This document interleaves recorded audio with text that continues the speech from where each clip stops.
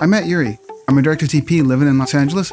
I've combined two passions of mine and begun specializing in filming animal performance. Some people just call me the animal guy. The entry point for me to learning animal behavior was dog agility. My first instructor happened to be a noted behaviorist, and she was able to guide me to communicate with my dog and shape and capture his emotions and actions. Filming with animals is not difficult if you approach it with the right mindset. You're going to look at what innate behaviors are available to you and what learned behaviors you can train and blend those two until you can tell your story.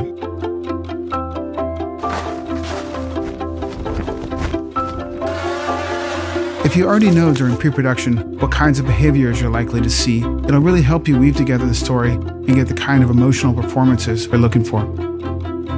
I love filming the connection between actors of two different species. When it works, you can really see the truth in it and it feels good.